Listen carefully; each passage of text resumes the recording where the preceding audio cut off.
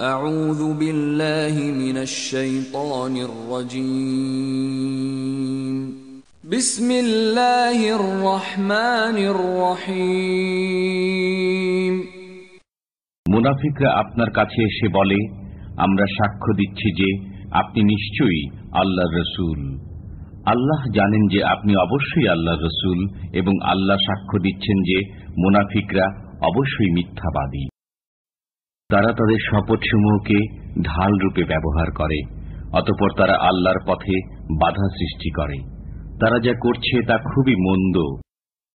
এটা এজন্য যে তারা বিশ্বাস স্থাপন করার পর পুনরায় কাফির হয়েছে, ফলে তাদের অন্তরে মোহর মেরে দেওয়া হয়েছে, অতএব তারা বুঝে না। আপনি যখন তাদেরকে দেখেন, তখন তাদের দেহাবায়ব আপনার কাছে প্রীতিকর মনে হয়। আর যদি তারা কথা বলে, তবে আপনি তাদের কথা শুনেন। তারা প্রাচীরে ঠেকানো কাঠ সদৃশ্য। প্রত্যেক সরগোলকে তারা নিজেদের বিরুদ্ধে মনে করে। তারাই শত্রু, অতএব তাদের সম্পর্কে সতর্ক হন। ধ্বংস করুন আল্লাহ তাদেরকে। তারা কোথায় বিভ্রান্ত হচ্ছে? যখন তাদেরকে বলা হয়, তোমরা এসো, আল্লাহ রসুল তোমাদের জন্য ক্ষমা প্রার্থনা করবেন। তখন তারা মাথা ঘুরিয়ে নেয়। এবং আপনি তাদেরকে দেখেন যে তারা অহংকার করে মুখ ফিরিয়ে নেয়। আপনি তাদের জন্য ক্ষমা প্রার্থনা করুন অথবা না করুন, উভয়ই সমান। আল্লাহ কখনো তাদেরকে ক্ষমা করবেন না। আল্লাহ পাপাচারী সম্প্রদায়কে পথ প্রদর্শন করেন না। তারাই বলে, আল্লাহ রসুলের সাহাচর্যে যারা আছে, তাদের জন্য ব্যয় করো না। পরিণামে তারা আপনা আপনি সরে যাবে। নভমণ্ডল ও ভূমণ্ডলের ধনভাণ্ডার আল্লাহরই, কিন্তু মুনাফিকরা তা বোঝে না।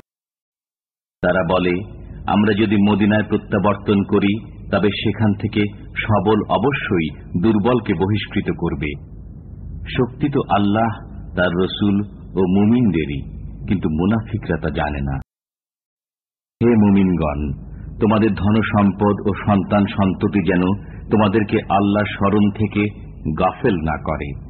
যারা এ কারণে গাফেল হয়, তারাই তো ক্ষতিগ্রস্ত। আমি তোমাদেরকে যা দিয়েছি, তা থেকে মৃত্যু আসার আগেই ব্যয় করো। অন্যথায় সে বলবে, হে আমার পালন কর্তা আমাকে আরও কিছুকাল অবকাশ দিলে না কেন? তাহলে আমি সৎকার করতাম এবং সৎকর্মীদের অন্তর্ভুক্ত হতাম। প্রত্যেক ব্যক্তির নির্ধারিত সময় যখন উপস্থিত হবে, তখন আল্লাহ কাউকে অবকাশ দেবেন না। তোমরা যা করো আল্লাহ সে বিষয়ে খবর রাখেন।